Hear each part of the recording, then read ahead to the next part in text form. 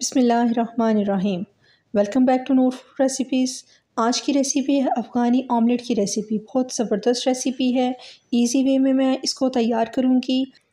इस रेसिपी को फॉलो करते हुए ना तो ये ऑमलेट जलेगा, ना ही ख़राब होगा और ना ही टूटेगा। तो इन ऐसे ही ज़बरदस्त ऑमलेट आप भी तैयार कर सकेंगे। रेसिपी मैं आपके साथ स्टेप बाय स्टेप शेयर करूँगी। तो वीडियो में मेरे साथ रहिएगा, बगैर स्किप किए देखिएगा ताकि अच्छे से आप भी इस ऑमलेट को तैयार कर सकें। तो इस ऑमलेट के लिए कुछ खास टिप्स ये हैं।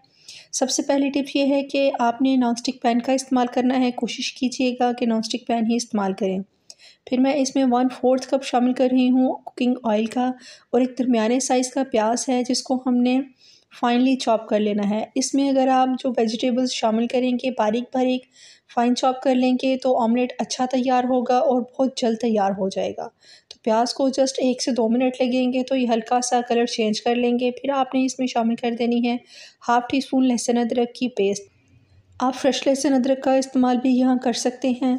तो इसको हमने हल्का सा साते कर लेना है। जस्ट खुशबू आने तक हम इसको फ्राई करेंगे दरमियानी आँच पर। लहसुन को फ्राई कर लिया है। अब मैं इसमें शामिल कर रही हूँ स्प्रिंग अनियन तो ये ऑप्शनल है। आप चाहें तो इसमें ऐड कर लें। अदरवाइज़ आप इसको स्किप कर लीजिएगा, लेकिन इसका टेस्ट भी इसमें बहुत अच्छा आएगा। तो इसको भी हमने हल्का सा साते कर लेना है। वेजिटेबल्स को बारीक बारीक कट करेंगे और मीडियम फ्लेम पर पकाएँगे तो जल्दी से ये ऑमलेट और अच्छा तैयार होगा। एक दरमियाने साइज़ का टमाटर है, जिसको मैंने चॉप कर लिया है। इसे भी मैंने छोटे छोटे डाइस में मैंने काट लिया है। तो वेजिटेबल्स को अगेन मैं यही बताऊँगी कि आपने फाइनली चॉप कर लेना है ताकि ऑमलेट अच्छा सा तैयार हो। तो कुछ स्पाइसेस भी इसमें ऐड कर लेते हैं। अकॉर्डिंग टू टेस्ट आपने इसमें नमक ऐड कर लेना है। और हाफ़ टी स्पून मैं इसमें शामिल कर रही हूँ। पिसी हुई लाल मिर्च। ये बहुत तीखी वाली नहीं है। वन फोर्थ टी स्पून मैंने इसमें हल्दी का इस्तेमाल किया है। तो स्पाइसेस आप अपने अकॉर्डिंग कम या ज़्यादा कर सकते हैं। तो स्पाइसेस ऐड करने के बाद इसको हल्का सा मिक्स कर लेंगे फ्लेम को लो कर देंगे। तो अब मैं इसमें शामिल कर रही हूँ एक दरमियाने साइज़ का उबला हुआ आलू है। इसको भी आपने बारीक बारीक कट कर लेना है। अगर आपके पास आलू उबला हुआ शामिल नहीं कर सकते आप तो आपने स्टार्ट में सबसे पहले ऑयल में आलू को अच्छा सा फ्राई कर लेना है ताकि ये कुक हो जाए। देन आपने फिर इसमें प्याज और बाकी जो स्पाइसेस हैं वो ऐड करने हैं। स्टेप बाय स्टेप आप इसमें ऐड करते जाइएगा। तो यहाँ आलू मैंने शामिल कर कर अच्छे से मैंने इसको भून लिया है। इससे आलू के अंदर जो सारे स्पाइसेस हैं, उसका भी फ्लेवर आ जाएगा।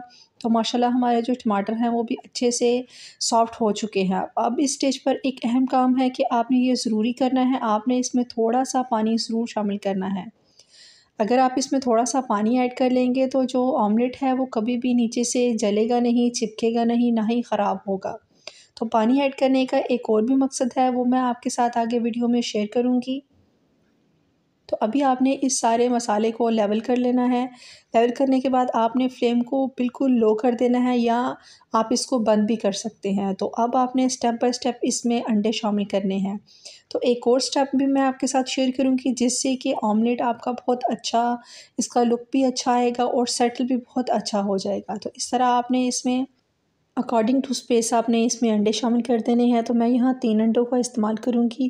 फिर आपने जब अंडे तीनों शामिल कर लेने हैं तो आपने हल्का हल्का सा इस तरह पैन को मूव करना है, ताकि जो इसकी सफ़ेदी है, वो सारी ऑमलेट पे अच्छे से स्प्रेड हो जाए, जिससे कि इसका लुक भी बहुत अच्छा आएगा और ऑमलेट टूटेगा नहीं। तो थोड़ी सी हरी मिर्चों से मैंने इसको गार्निश कर दिया है और एक से दो मिनट के लिए हम इसको ढक कर भी पकाएँगे, ताकि जो ऊपर की जो सरफेस है, जो इसकी ऑमलेट की, वो भी अच्छे से कुक हो जाए।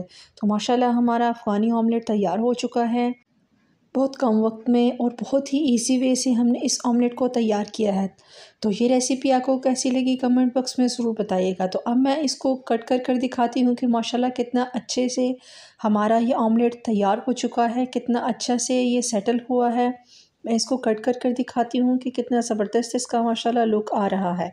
तो रेसिपी को आप इसी तरह स्टेप बाय स्टेप फॉलो कीजिएगा तो इन आप भी घर में ऐसा ही ज़बरदस्त ऑमलेट तैयार कर सकेंगे।